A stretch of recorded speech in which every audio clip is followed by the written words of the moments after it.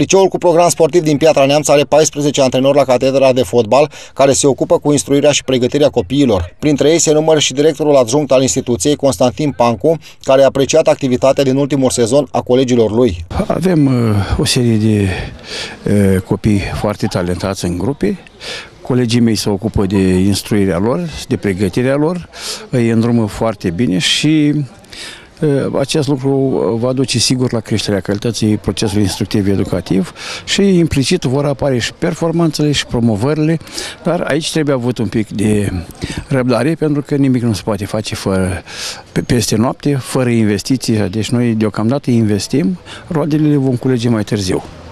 Câți antrenori sunt la, la catedra de fotbal la LPS?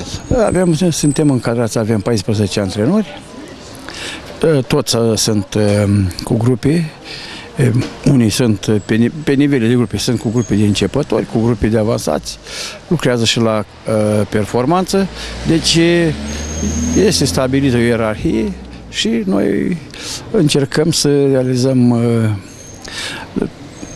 planul de pregătire școlară și, și cel pe plan sportiv. Constantin Pancu este antrenorul care l-a descoperit pe unul dintre cei mai importanți fotbaliști români la ora actuală, Alexandru Maxim, componentul echipei germane VfL Stuttgart.